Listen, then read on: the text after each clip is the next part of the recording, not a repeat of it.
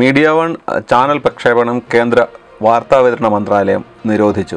ഇന്ന് ഉച്ചയ്ക്ക് ഇന്ത്യൻ സമയം രണ്ട് പതിമൂന്ന് മുതൽ യു എ സമയം പന്ത്രണ്ട് നാൽപ്പത്തി മൂന്ന് മുതൽ ചാനൽ നിശ്ചലമായി.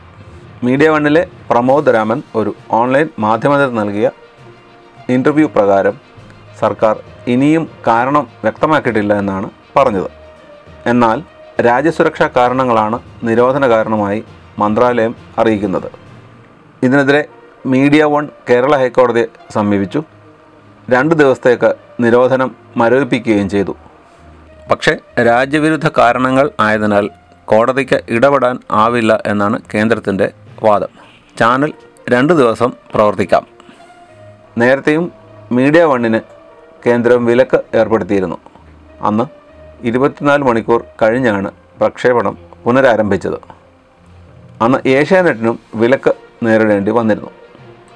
എന്നാൽ നിരോധനമല്ല ലൈസൻസ് പുതുക്കാഞ്ഞതാണ് ചാനൽ നിൽക്കാൻ കാരണമെന്നും പ്രൊമോട്ടർമാരുടെ ഇടപാടുകൾ സംബന്ധിച്ചുള്ള ചില രേഖകളിൽ വ്യക്തതയില്ലാത്തതും വിശദീകരണം ആവശ്യമുള്ളതുമാണ്. ലൈസൻസ് പുതുക്കിക്കിട്ടാൻ താമസിക്കുന്നതെന്നും കേന്ദ്രത്തോട് കൂറുള്ള സംഘടനാ പ്രവർത്തകരും ഓൺലൈനിൽ പറയുന്നുണ്ട്.